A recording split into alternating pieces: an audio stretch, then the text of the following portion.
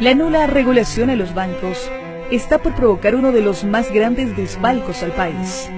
Mientras la desocupación y la miseria adquieren niveles de desastre humanitario, al país más pobre del continente le estafan mil millones de dólares. Políticos y banqueros organizan una fenomenal comilona. Las reglas para participar del banquete son simples. El gobierno entrega al sistema financiero mil millones de dólares. Los banqueros conceden créditos a familiares y amigos íntimos sin pedir ningún tipo de garantías ni solvencias. Es decir, los banqueros se prestan a sí mismos y luego se declaran en quiebra.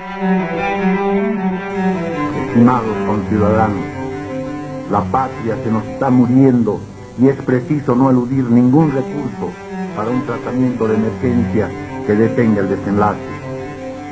Persuasiva elocuencia de las cifras precedentes nos revela que no podemos proponer al país medidas cosméticas para arreglar la situación actual. O tenemos el valor moral, con su secuela de sacrificios, para plantear de modo radical una nueva política, o sencillamente, con gran dolor para todos, Bolivia se nos muere.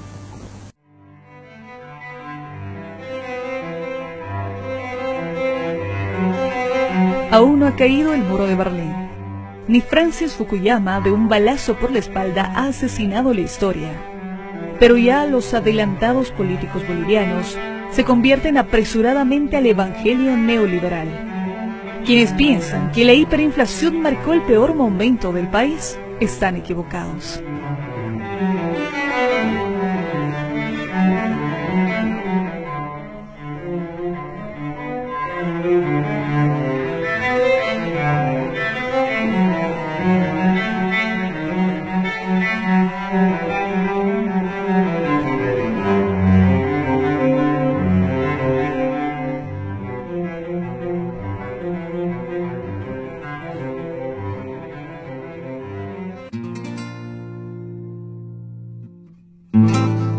Francis Tesoro ya no solamente detiene la inflación con el decreto 21060, sino que eh, pretende insuflar económicamente la nación a través de créditos internacionales que ascienden a más de mil millones de dólares para ese momento.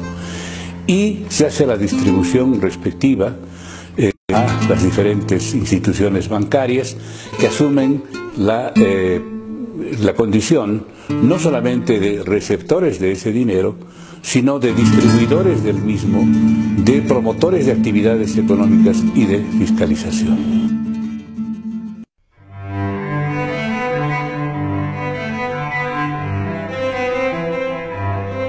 Mientras la desocupación y la miseria adquieren niveles de desastre humanitario, políticos y banqueros organizan una fenomenal comilona. Las reglas para participar del banquete son simples. El gobierno entrega al sistema financiero 1.600 millones de dólares. Los banqueros conceden créditos a familiares y amigos íntimos sin pedir ningún tipo de garantías ni solvencias. Es decir, los banqueros se prestan a sí mismos y luego se declaran en quiebra.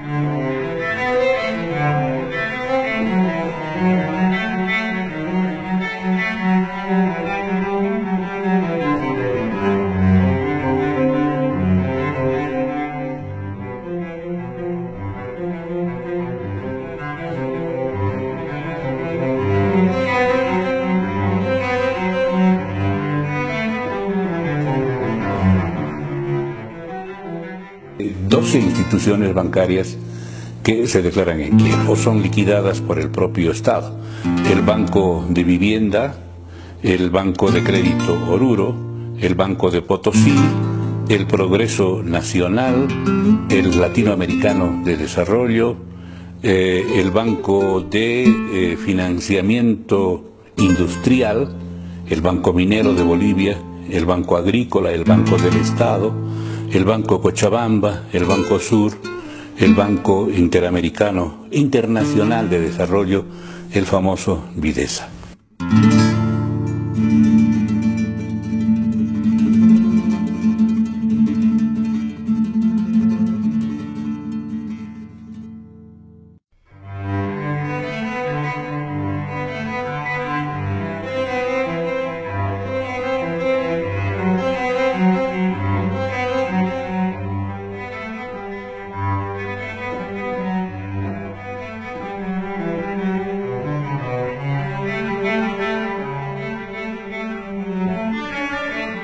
Durante su gobierno quiebran tres bancos, pero eso no sería lo peor.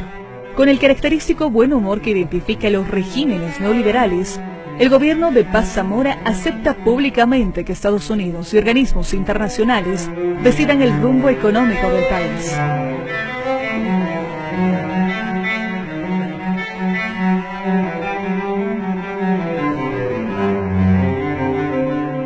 Una comisión de representantes del gobierno viaja a París para sellar un acuerdo con el Banco Interamericano de Desarrollo. Lo que hace el Estado, a través de su ministro de Planeamiento, en ese instante, el, señor Samuel Doria Medina, es eh, tomar compromiso en, una reunión en París y eh, comprometerse a eliminar la banca estatal.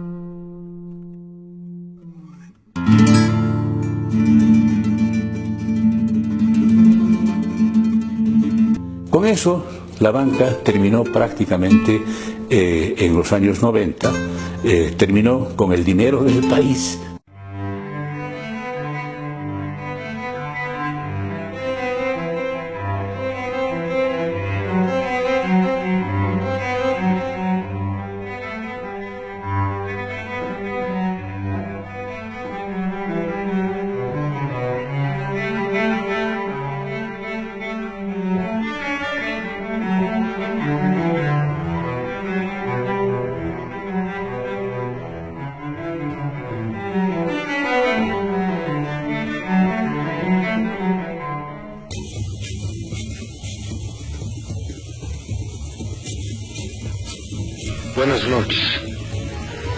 Durante estos últimos cuatro años, yo he visitado casi todo Bolivia, a veces por tierra, a veces por avión, incluso en lanchas en el Beni, en los ríos del Amazonas, también a veces a pie. He conocido mucha gente, hombres y mujeres, y niños muchos niños siempre tan cariñosos, siempre tan necesitados. Carlos Palenque y el padre Eduardo Pérez se enfrascan en una batalla radial interminable. Bolivia clasifica por primera vez a un mundial. El Diablo Echevarri está lesionado, pero promete que estará en excelentes condiciones para la inauguración del mundial. Detienen en Brasil al dictador y narcotraficante Luis García Mesa. Todo contribuía a que el 21 de marzo de 1994, el MNR, el MBL, el MRTK y la UCS aprueben la ley de capitalización número 1544. Aquella distracción le costará caro al país.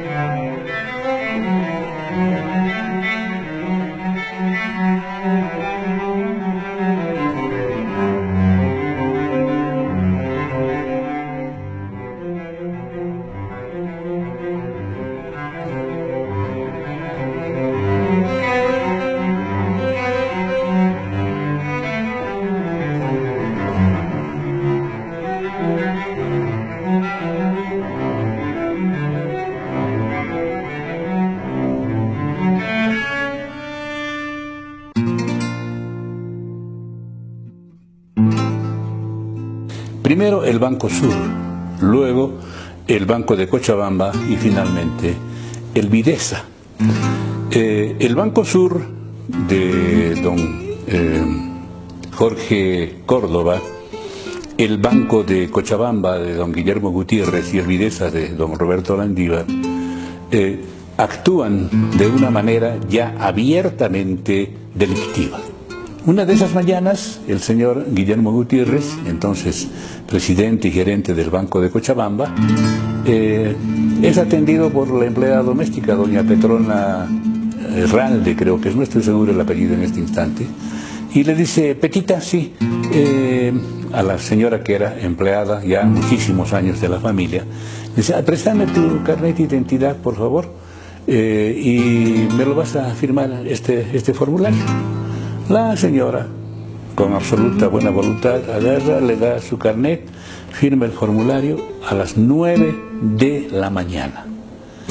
Ese mismo día, a las 5 de la tarde, del banco de Cochabamba de este señor Gutiérrez, estaba saliendo un cheque por 900 mil dólares a nombre de doña Petita. Cierren los bancos Cochabamba y Sur en solo cinco meses el Banco Central de Bolivia pierde 400 millones de dólares. Dice una voz popular. ¿Quién es el criminal? ¿El que roba un banco o el que lo funda?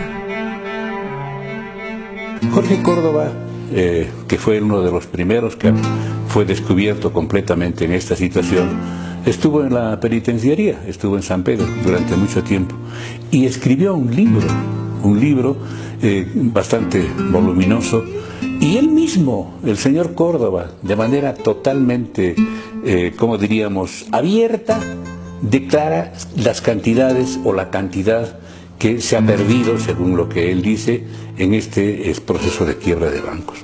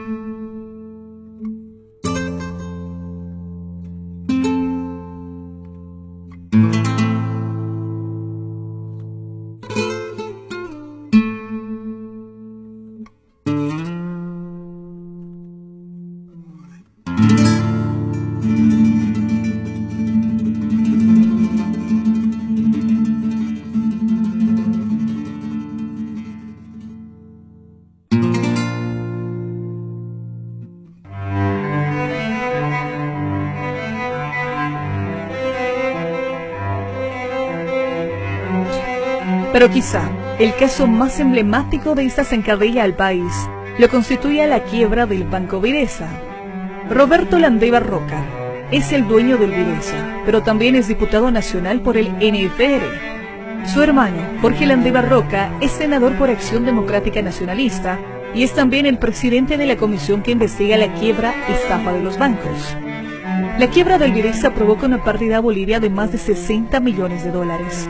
Lo que llama la atención es que después de la quiebra de Videsa, la esposa y los hijos de Roberto Landívar comienzan a comprar atropelladamente casas, mansiones y departamentos. Resulta difícil justificar el origen de las asombrosas cantidades de dinero necesarias para adquirir todas esas propiedades. En este caso, eh, durante el proceso de la quiebra de bancos, eh, previo y post, aparecen este, algunos banqueros en acción política abierta. Estamos hablando del tiempo del gobierno ya constitucional del eh, dictador Hugo Banzer Suárez, donde entre sus eh, principales colaboradores se encuentran el grupo Landívar. Jorge Landívar este, llega a ser en un momento determinado ejecutivo de la Cámara de Senadores y Roberto Landívar, que es el personaje que maneja el famoso Videsa, es diputado también. Entonces, eh, este contubernio va a funcionar en determinado momento para eh, conseguir ventajas, para conseguir privilegios que les permita trabajar abiertamente en este objetivo político. Ahora, aquí vienen cosas tan extraordinarias como por ejemplo de que el señor Landívar finalmente aparece en una comisión investigadora del problema de los bancos. Tienen una impunidad y un descaro increíble porque si yo estoy eh, este, cometiendo un delito y, y, me ofrezco y aparezco y soy además investigador de mi propio delito, es poco menos que cínico. El Decreto Supremo 23841, emitido el 13 de agosto de 1994, señala, cuando el Banco Central de Bolivia no pueda recuperar el dinero con el que cubra las deudas de la banca privada, corresponderá al Tesoro General de la Nación cubrir las pérdidas, reembolsando los saldos no recuperados, con bonos redimibles a 99 años. En nuestra atormentada vida republicana, el desfalco al erario nacional no será la excepción, sino la norma una y otra vez se sucederá en la piratería y el saqueo.